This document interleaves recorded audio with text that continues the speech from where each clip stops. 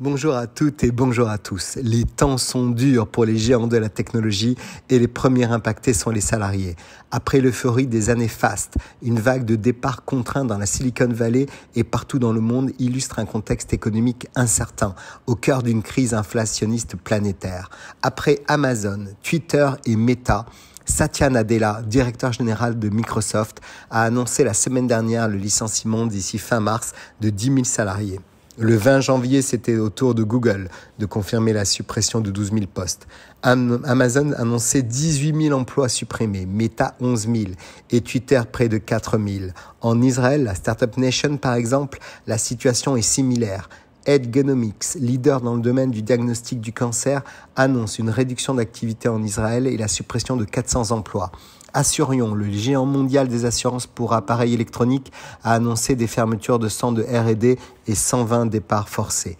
Les entreprises suivent toutes à peu près la même logique, la réponse aux conditions macroéconomiques et aux changements de priorité des clients. Ces derniers ayant accéléré leurs dépenses informatiques durant la pandémie et cherchant désormais à les optimiser pour faire plus avec moins de dépenses. Ces géants affirment faire preuve de prudence face au risque de récession, tandis que les progrès de l'intelligence artificielle secouent le secteur. Selon leurs dirigeants, il s'agit d'ajustements liés à un retour à la normale et à l'inflation. Les marchés financiers reculent sous l'effet du choc récessif et relèvement des taux d'intérêt par les banques centrales qui privent ces géants de l'argent massif et facile qui était au cœur de leur modèle économique.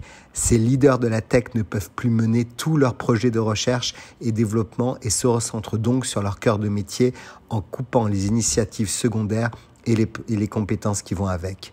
Des alternatives existent. Réduire le salaire de ces cadres plutôt que de licencier du personnel souvent très qualifié. En Israël, l'entreprise Intel une des plus grands employeurs tech du pays, a annoncé la semaine dernière diminuer de 15% le salaire de ses cadres supérieurs et la réduction des primes annuelles. Cependant, on retiendra que l'avenir de la tech n'est pas si noir, puisque ces licenciements peuvent être une première étape vers une stabilisation du cours des actions en bourse.